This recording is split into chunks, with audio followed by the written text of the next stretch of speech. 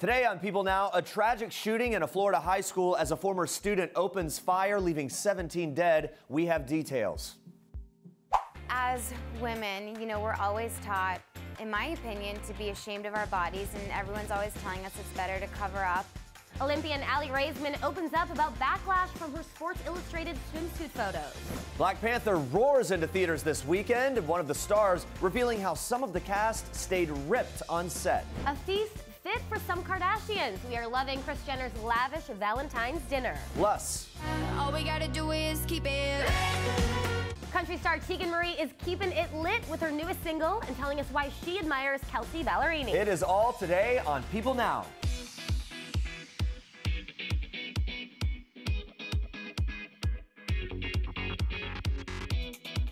Happy Thursday, everyone. We are counting down, at least us superhero fans are counting down the release of uh, Marvel's Black Panther. It is out tomorrow. Very excited. Let's just say everyone's excited for this at this point. Now, later on the show, I'm talking to Winston Duke, one of the breakout stars from the movie. In honor of that, we're asking you who your favorite superhero is. You can tweet us at people using the hashtag PeopleNow. But first, we begin with this very sad story today. Another school shooting has stunned the country, this time in Parkland, Florida. At least 17 adults and children were killed on Wednesday, including the school's beloved assistant football coach, Aaron Fees. The school football team's Twitter account posting this tribute to Fees on Thursday, saying in part, quote, he selflessly shielded students from the shooter when he was shot. He died a hero and will forever be in our hearts and memories. Fees graduated from Stoneman Douglas High School in 1999 and worked at the school for his entire coaching career. He was transported to a local hospital after the shooting, where he was rushed into surgery and later succumbed to his injuries. The Florida Sheriff's Office, leading the investigation into the shooting, has revealed that the alleged gunman tried to flee by hiding himself among terrified students exiting the building. The 19 year old was a former student of Marjory Stoneman Douglas High School who was expelled for disciplinary reasons. Investigators had to comb through security footage to identify him, leading to his arrest in a nearby neighborhood of Coral Springs. One teacher who was overseeing students working on the school newspaper at the time of the shooting describes what those initial moments of panic were like. Um, the fire alarm went off, so we just, you know, followed the protocol, you know, which is we're supposed to, when the fire alarm goes off, we have to, you know, evacuate. So, um, you know, we make it out, you know, of my room and out of the hallway, and we're starting to go down the stairs, and the security guard who's posted in our area said, no, it's a code red. Um, you know, go back. And so, you know, the teachers who were there called out to the kids, and we started going back to the classroom and, you know, taking in, in kids and yelling to kids in the hallway to get inside. Well, obviously, really crucial that teachers stay calm and collected when these things happen. They're so impressive that they're able to pull that off. And meanwhile, one student describes the atmosphere during such an unthinkable event. And Valentine's Day, everyone was happy, spreading love, and it just crashed down so quick.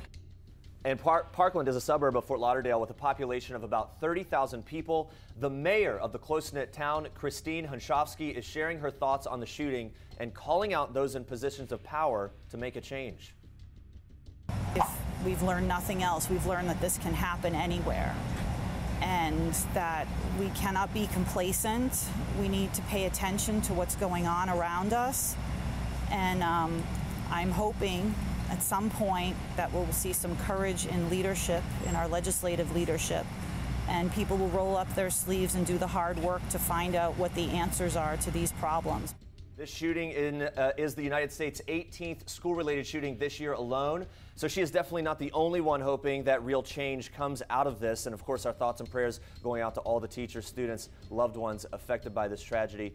So heartbreaking. Uh, but guys, we shift gears now from this tragic story to something a bit more hopeful. She is a golden girl. Star racer Mikaela Shiffrin snagged that gold in the women's alpine skiing giant slalom at the Winter Games in Pyeongchang.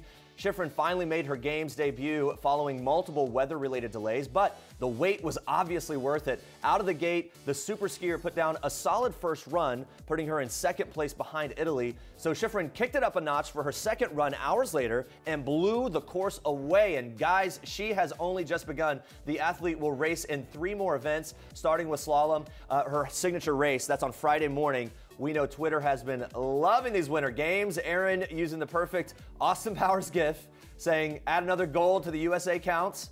Uh, and another user pointing out that Shiffrin loves her naps, and maybe they could be the reason behind her success. We just don't know. but we're eating popcorn as we watch. Uh, the U.S. ski and snowboard team pointed out the sweet moment. Shiffrin's dad reacted to her gold medal win. Guys, we hope that she goes for the gold, and Mikaela, good luck as you go for the rest of those golds. Now watch. I actually had somebody say something to me a couple months ago saying, I don't understand how you can complain that you were um, molested because you participated in Sports Illustrated swimsuit. And I'm like, it just, it, does, it doesn't matter. You know, there, it doesn't, I just don't understand. And it really makes me, um, it's devastating. Like, I can't even tell you how many people have told me that when they were raped, um, they were asked, well, what were you wearing? Doesn't matter. Right. It doesn't matter what you're wearing. It's never, ever okay. Aly Raisman is challenging the backlash over her nude SI Swim photo shoot. The new franchise, titled In Her Own Words, features Raisman bearing it all for the camera with powerful words like fierce and survivor etched across her body. The Olympian has made it her mission to stop the cycle of abuse, explaining how shaming women's sexuality is part of the problem. As women, you know, we're always taught, in my opinion, to be ashamed of our bodies, and everyone's always telling us it's better to cover up. I know women do not have to be modest to be respected. You can be sexy, you can be wearing a sexy bikini, you can still be smart, um, powerful, have a voice. You can still be advocating for change. You can still be a good person. You can still be respected. Um, and I don't know why some people think that if a woman is sexy and wearing a sexy outfit, that it's okay to abuse her. You should be able to walk down the street late at night in an alleyway by yourself, wearing whatever you want, and to not have any risk of being attacked. Uh, well said. And with the uh, 2018 Winter Games currently underway, is Raisman watching? Well, the six time medalist, whose powerful testimony against Larry Nassar rocked USA Gymnastics, says that she's tried not to let her painful experiences affect her view of the Games, but that she will always continue to speak out for what is right. Right now, um, the Winter Olympics is going on, and, and um, I separate my thoughts on the how I am disappointed in the U.S. Olympic Committee, and I support all the athletes I've been watching, I've been cheering them on, and I'm proud of, of everything they've done so far. Um, but I, I don't get nervous anymore. Of course, it's really scary to speak out, and when I first started speaking out, it was really scary, um, but I know it's the right thing to do, and I think the right thing to do is always really important. I don't think the United States Olympic Committee, USA Gymnastics, and Michigan State University are doing the right thing. They haven't done it at all, and they continue to not take accountability. And so Larry Nassar didn't even have his medical license in Texas, where he treated us or treated us at uh, the Karolyi Ranch in Texas, and um, that just shows like organizations um, have to do a better job. Everyone has to do a better job. This is a lot more common than we ever thought, and everyone has to be talking about it. And I think if you're not pissed off and scared and devastated, then you're not paying attention. Man, so great to hear from her. We were both saying it feels like she has really found her voice and she knows exactly what she needs to do right now. She's doing it. And she is focused. I mean, we've seen she's been doing so much the, last couple months. Yeah. But she has this platform and she's using it to help others. And it was very inspiring Yeah. to talk to her and sit down and talk about these things. Yeah, it really was. All right, you guys, let's check in on our question of the day. In honor of the highly anticipated Black Panther out tomorrow, we're asking you who your favorite superhero is. One Twitter user saying, I'm a Hulk fan. I can also get down with some Spider Man. You know, I'll get down with some Spider-Man. I am a fan of Wonder Woman. That's mine. That's okay. my choice. Yeah, and especially this latest movie. Yeah. Uh, everyone's stoked though about Black Panther's big release. Check this out, saying, "Y'all, by this time tomorrow, I will have seen Black Panther." It feels like the night before my birthday, Christmas, and graduation all at the same time. So many people excited. Even, our, we were talking in, in makeup. Our makeup artists are going to see it. One of Mm-hmm. them tonight, and someone else over the weekend. Um, I can't wait for a reaction to this. I saw it like a week ago. Humble brag, dropping I know, that. right? Uh, Okay, but no, nice. it's so great, and uh, I'm just really excited to be able to talk to people about it and see what people thought. And you, you going to you going to see? I'm gonna no, I'm gonna see it. I haven't weekend? seen it yet. Yeah. I'm gonna see it this weekend. Okay, good. I'm sure I'm gonna love it. And you even have more trending news for us I Star do, Trek. Jeremy. Would you look at that? Things are getting hot. we are kicking off Star Tracks with one red hot celeb. So most people just wear red clothes for Valentine's Day, but Julianne Hough kicked it up a notch and transformed into a fiery redhead. Look at these pictures. She shared some snaps of her freshly dyed locks on Instagram on Wednesday. I gotta say, she looks like a totally new person. But even though she may look brand new, Jewel says she's never felt more like herself than she does now with red hair. Now, Julianne is, of course, known for her signature blonde locks, but she says, quote, I've always felt like a redhead my whole life, revealing in her caption that the hair color switch up has been in the works for over six years and that she's never felt more feminine and alive. And I am loving the red hair. Jeremy, do you like this Yeah, hair? it looks good. I think it brings out her eyes. I'm a huge fan. Yeah. Looking great, It's Jewel. subtle. It's nice. Yeah. Well, speaking of red hot ladies, Kris Jenner hosted an elaborate Valentine's Day dinner at her Calabasas home to honor the Day of Love. The momager celebrated with her own Valentine, Corey Gamble, and kids Kim, Khloe, and Rob Kardashian. But that's not all. Family friends Jada Pinkett Smith and Real Housewives of Beverly Hills star Kyle Richards also joined in on the fun. And the Kardashian sisters made sure they brought their Valentines, Kanye West and Tristan Thompson, along for the dinner party as well. Look at them. Kris dazzled with red roses throughout the tablescape, but Kim was especially impressed by her mom's resourcefulness. Kris Jenner used chocolate chunks as place cards, but after taking a closer look, Kim noticed the chocolates were the promotional ones that she sent along during her latest perfume release. She gushed about it on her Insta, saying, quote, how cute is my mom? The answer, very cute. and pregnant Khloe shared a cute smooch with her baller boyfriend, who sent everyone a happy Valentine's Day shout out on her Insta stories. Kim made sure to get a video for her Insta featuring her mom, Kris, and a very fierce looking Jada Pinkett Smith. And while she was at it, Kim also got a vintagey looking snap in of her and hubby Kanye, ambushing a very off guard Rob Kardashian. Not cool to ambush Kim. well, to round the night off, everyone sang Kanye West's 2010 song Runaway at the dinner table and continued the party by busting out the karaoke machine. That sounds like a fun time. Karaoke machine at the end? Those are your Star Tracks for today. I always want to know how many people they have on staff that like set up those dinners. They're so elaborate. They're very elaborate. You know? I'm still caught up on the karaoke and just Yeah. wondering if Kanye was singing along. I know. Karaoke. He was. He was. so? All right. In case you missed it, the 2018 Sports Illustrated swimsuit issue is out now. The special edition features rookies, athletes, activists, superstars like Ashley Graham. Yep, I hosted the SI Swim launch party live show last night. Ashley and her husband, Justin Ervin, were there for all the fun. They were great, even spilling a few secrets on how they keep the romance alive. Watch this. There's something we do is we play. It's called the nice game, right? So You know that whether feeling after you have a fight and you still have that like tension? Yeah. This is how we get rid of it. so I have to tell her to say something nice. Mm-hmm. Well, And- one of us starts, and it's one or the other says say something nice, and so the other one has to say something nice. It can't be a physical because that's is just obvious. post argument. yes. Which, by the way, when you the, so the first person to say it, it's like, oh, Biting your "Oh!" tongue. Exactly, And then exactly the other that. one has to go right away. And literally, what it does is it just takes you down. It calms you down from that fight, and you just go right back in to r- real life. Yeah, yeah, yeah. It helps put the argument or whatever the tiff is in the past and focus on each other again. Okay, we've interviewed Ashley Graham a few times. She has her vision board and everything. This does not surprise me at all. No, the her nice game. strategic approach to this. Yeah, I it's love so it. smart though. All right, of course we have to talk about this year's cover girl, Danielle Herrington. Yeah, She looks Danielle amazing. is she is absolutely killing the game these days. This is only her second year in SI, and poof, she's on the cover. I sat down with Danielle, and her parents were there celebrating Amazing. too, mom and dad, with their own advice for their daughter now that she's this big rising star. just be yourself. Um, if that's who she is, she's gonna shine because she's genuinely happy. She's giving, loving, and she loves to share with people. So that's just who Danielle is.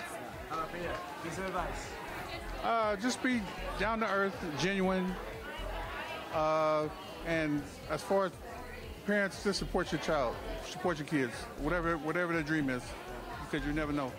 That's adorable that they were there and so proud of her. But I have to know, Jeremy, what did Papa Herrington really think about his daughter's ah. sexy photo shoot? Because the photos are pretty hot and Yeah, heavy. they could definitely be. Can't be hot and easy heavy. for a dad. I, I think he has a pretty good perspective though when it comes to the whole modeling world. Watch this. I was fine with it, you know, but as it, you know, kept going, I'm like, okay. Yeah. and you know, but now that it's get to this point, it, it's all worth it. I mean, Yeah. I'm behind it 100%. I love it. They seem Yeah. very supportive. And that's uh, Chase Carter there, my co-host as Oh, well. And yeah. she asked that question. She's like, when my dad sees these pictures, I'm like, uh. So it, was, it was really funny to kind of get his. I, I like it. Um, former Miss Universe Olivia Culpo also graces this year's issue, but modeling isn't the only thing that is keeping her busy, Yeah, right, Jeremy? she's very busy. Olivia is going to be appearing in the new movie I Feel Pretty alongside Amy Schumer. Uh, she is super excited about that opportunity. She opened up about the new gig at last night's launch. Watch. Amy Schumer's I Feel Pretty's movie coming up, and then also I'm sure, as you know, it's like all the fashion weeks, so much traveling. Have you already shot the Amy Schumer movie? Yes. You're, you're done. Yeah. What's the biggest takeaway? What was what was it, the relationship like with her and the, just the whole vibe? She's amazing. Uh, sh- Amy Schumer is such a sweet person. She's so kind. I'm excited to see this movie. I can't wait to see the dynamic that those two have on screen. It, will be interesting to see Yeah. that, right? Yeah, that whole cast. So uh, keep your eyes peeled for that one. But speaking of mega flicks, we uh, spoke to the breakout star of Marvel's Black Panther, Winston Duke. He revealed how the athletic cast kept up their fitness on set. Watch.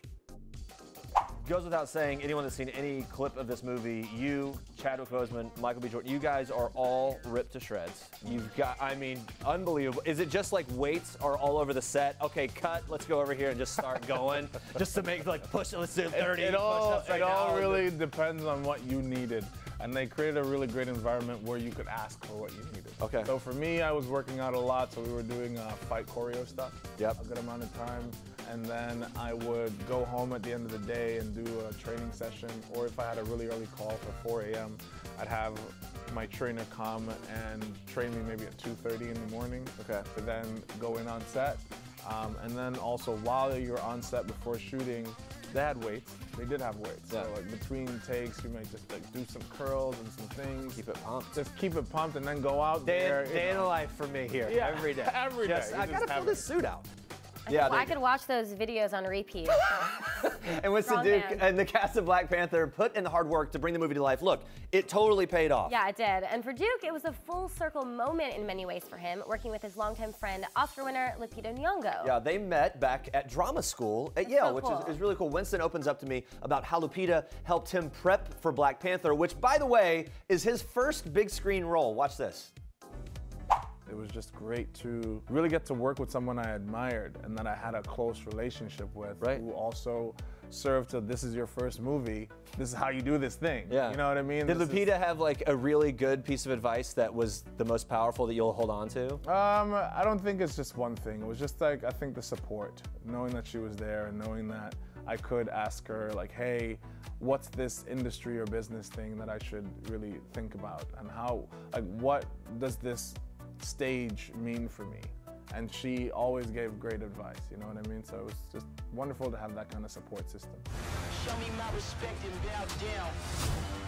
You get to decide what kind of king you are going to be. in another generation so kids can kind of grow up not feeling like they need to be part of a first in this way that there aren't going to be that those kind of ceilings for them. They're not going to be wishing to see themselves represented on TV it's going to be a Black Panther and hopefully this film creates avenues for other stories like this with people of color not just black people but people of color. You know their stories can be invested in, you know, and be celebrated. First movie role, Black Panther. I'm so excited for him. And then he's going to also be in the next Avengers movie, Infinity War. We're gonna see a lot of him. For a second, I mean, it's just like starting out right at the top. How Yeah. incredible and, and well deserved. He is such a great guy. Mhm. All right, guys, stay with us. More to come. We are meeting the woman who is turning terminally ill children's filmmaking dreams into a reality. Such an ama- amazing organization. Plus, Patricia Clarkson is opening up about the equal pay on her movie, The Party, and how that completely changed the tone of the set. Don't miss it.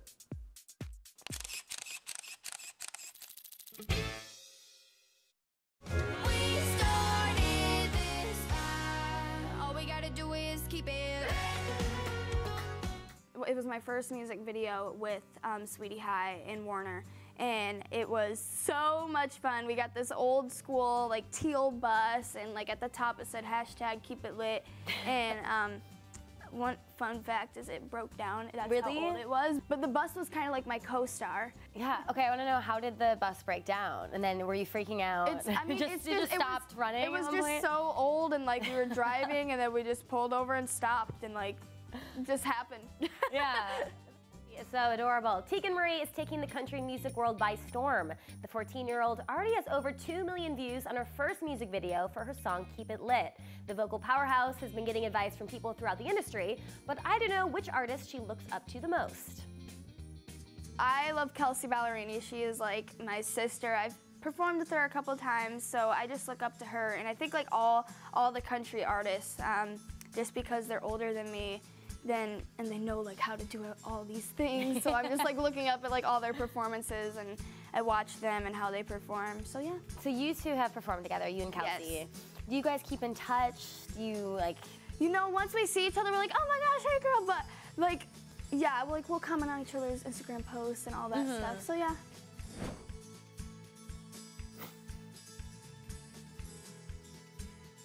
Well, guys, The Party, which has a star-studded cast, including the wonderful Patricia Clarkson, hits theaters Friday. The black and white film has been described as a comedy wrapped in a tragedy, and it follows the events that unfold after one character wins a political election. Now, one of the most noteworthy pieces of news surrounding this film is that the entire cast was paid the exact same amount. This was a true ensemble. It was a true collection, uh, a collective, and we had to. It, it, everyone was equal across the board. Dressing rooms, drivers. Uh, you know, I think we even had to eat the same food. I mean, and you know, it, egalitarianism goes a long way when you are. Uh, when people come together and truly feel that everyone everyone is special and and yet no one is it, it, it changes the tone of, of, of, of a set. Yeah, Clarkson has hit a real stride in her career, but here's what she had to say about finding work in her 50s and her advice to younger actresses looking to negotiate contracts. I always thought I was lucky when I got a job. I don't know many men who say, wow, I'm still working in my 50s, I'm lucky. As women, the more we work, the more we, we tend to feel that it's, you know, it's survived, that we've survived. And men feel it's given. And it's not like, oh, wow, wow. I can't tell you how many times a day people come up to me on the street, you know, strangers. My God, I love you, Patty. And you're working so much. Oh my God, how, how wild is that? I'm like, yeah. but I think these young actresses, I think it's gonna, it takes a little time, but I think you have to remember if you get the job, you got the job and walk in and negotiate and try to be as strong as possible, but you also want to be careful not to lose a job at the very beginning over money. Yeah. You can always make money, you can't always make a career. Yeah, well, really good advice there from Patricia Clarkson, and nice to hear from her. All right, the nonprofit Make a Film Foundation is turning children's movie making dreams into a reality, one story at a time. Founder Tamika Lamison has made it her mission to give terminally ill children the chance to create memorable short films and documentaries alongside the biggest names in Hollywood, giving them a memory and a movie that they'll never forget. Well, joining me now live via Skype is founder Tamika Lamison. How are you, Tamika? I'm great. Thank you so much for having me. Thank you for joining us. I absolutely love your organization. I think it's so incredible. Now, I know you originally moved to Hollywood to start your own career in filmmaking. So tell me, how did you turn your passion into Make a Film Foundation? So it actually started with kind of a real big disappointment because I sold a script for six figures. It was uh, a script that was dear to my heart that I wanted to direct and produce. And um, this company bought it for six figures. Then it was my dream project. I could do everything. And then I found out that the check was bad. And oh, no. it totally. I know, it totally devastated me. I was like, no, I had already spent that money in my head. my life had changed already. And then um, I thought, uh, you know what? I don't want to spend all my time just going after, you know, getting my movie made or selling my script. I knew there had to be more to life than that. So I started to mentor and teach kids filmmaking, and I really fell in love with it. And then a friend asked me if you could do anything, anything in the world, what would you do? Because that's what you should be doing. And I said, well, aside from filmmaking, I would probably grant wishes to those kids in the Make a Wish Foundation because I've always been inspired by that organization. And so I thought, why not combine these two passions and turn it into one big organization where I could fulfill my filmmaking dreams and also have these this unique population of children fulfill their their dream as well. All yeah, yeah. yeah. That no, that's incredible that you took this disappointment and then turned it into such an amazing thing. Now you've gotten such A-list directors and movie stars to mentor these children: Johnny Depp, Kerry Washington, just to name a few. How have you been able to get them to be a part of this, and what was their reaction?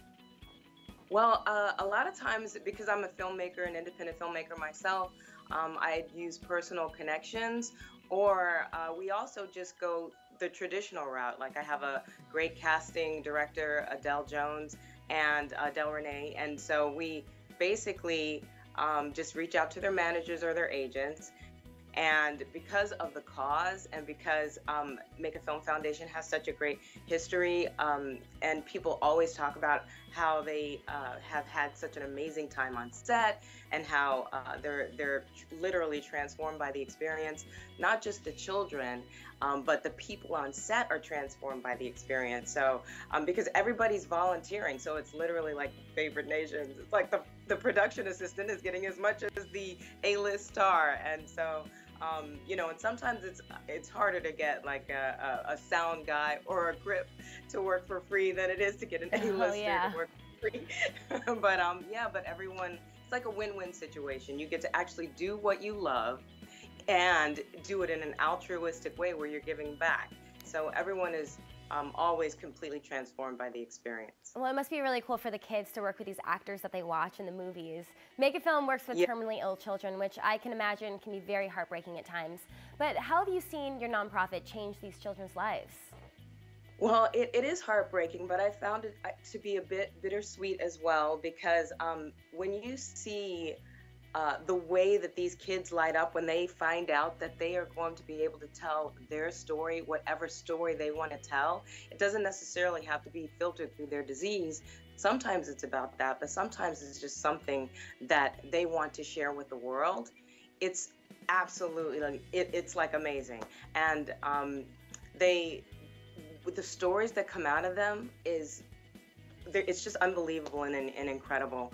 So. Um, and then when I what I say is it's inspiring for me because it's not like uh, they they if they pass away they're still there on the big screen. So mm-hmm. for me they live forever on the big screen.